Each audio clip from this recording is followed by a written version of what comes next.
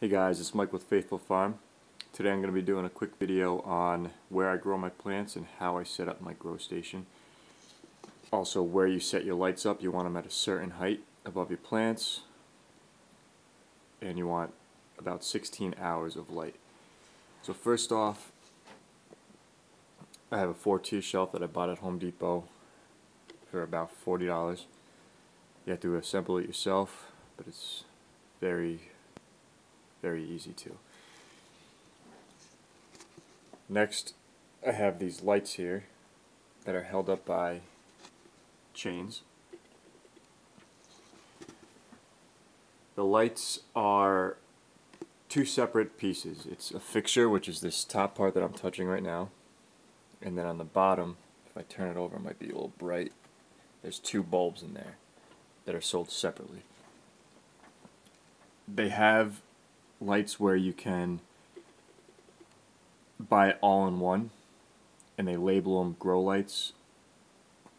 I used it once, really no difference, just more expensive. I think they are around $50 just for one light. This you buy separately. I bought these fixtures at Walmart for $10 each. And then I bought a 10 pack from Home Depot of T8 bulbs for around $50. And you just turn this over and it has little slots in it that you stick the bulb in, you twist it, hear a click, and you're good to go. Down here, this is one of my old lights from my other house. This is a T12 fixture. I bought this at Home Depot separately. I think it was around the same 10 to 12 dollars. And this is for T12 bulbs, which are a little bit thicker in diameter. I swapped over to the T8s this year because I read up on it and it has more intense light and it actually is more energy efficient supposedly. So we'll we'll test that out and see how true that is.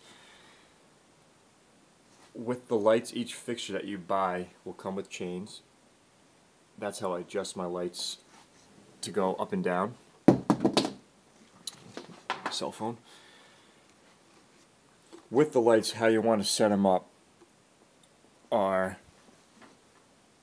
that you want them to be two to four inches above your plants.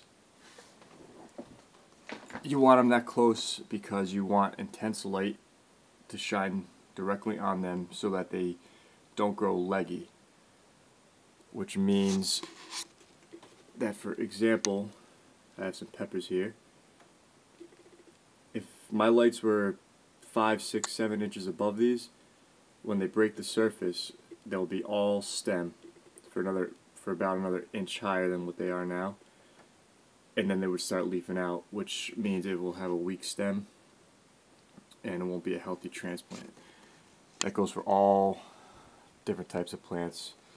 I'm not sure if there's legginess for onions and shallots because they already grow leggy looking, I guess. Um, but you want to keep them two to four inches at all times because you want short, stocky, bushy plants that will be healthy for your transplants when they go outside. Here's a quick video, quick update on my plants. Those are shallots over there that I overseeded. You could check out my other video on how I did that. I overseeded onions. They're taking a little bit longer. I'll do another video on all these and what I have planted in different germination times and rates and all that good stuff. Those are some peppers. Got down here some tomatoes. Again, two to four inches above. Some thyme. Now there's two different ways you can adjust your lights. You could do what I do and adjust by that chain. I would just tighten this right here and the light will go up this way and I would do the same thing on that side. Or you can start already with your light as, as uh, high as it can go and put books or magazines or whatever you have, boxes, underneath the flats and you could raise it up and down that way. This bottom tier I have a bigger space from the bottom to this top because when I'm ready and I transplant all these plants into bigger pots. I'm going to have it down here. And I eventually actually might adjust this one too, so I have two shells of a good uh, greater distance for transplants. In the back there I have tin foil. Tin foil is very handy because it reflects light back in towards your plants. These fixtures that I bought, they're a little wide, wider than the T12 fixture that I have down there. I tried to put two next to each other. They just wouldn't fit. So I taped some tinfoil on the back. I'm doing a little different experiment with this too. I love doing little experiments to figure out what works best. There's a shiny side on the tinfoil and a duller side. This side is the shiny, this side is the dull. I just want to see if there's any impact on growth. And also, the, I'm going to end up putting tinfoil on the back of the closet door to also reflect light in to the front.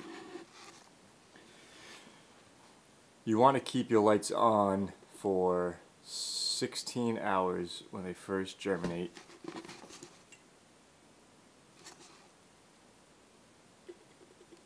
And pop through the seed starting mix because that's the most important time to have intense light. If you don't have good light when they first emerge, they will grow leggy. I've had many experiences with that. I will, uh, you know what I'll do? I will show you what a leggy plant looks like. I'll plant some stuff right after this, and I'll show you in a couple weeks what it looks like.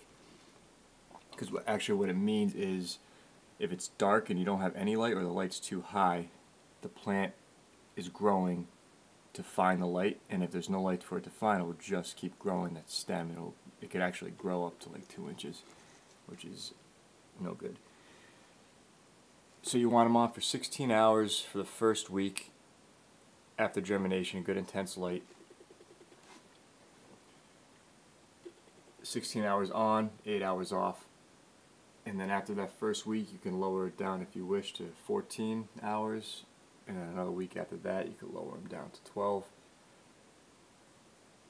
And then once you transplant them into bigger pots, the amount of light, the height of the light, does not really matter as much as when you first plant them and they first germinate. Biggest help with the light, I would say, are timers. You don't have to worry about